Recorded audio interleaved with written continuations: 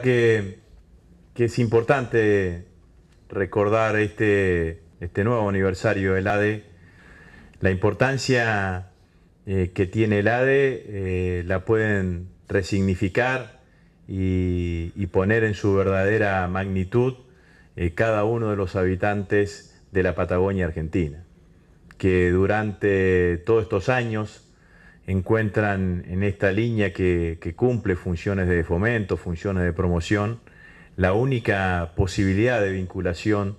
y de una posibilidad de transporte aéreo que ninguna otra línea comercial le da. La ADE es una línea que no tiene una mirada de rentabilidad económica. La ADE es una línea que busca integrar al país. Estamos trabajando con,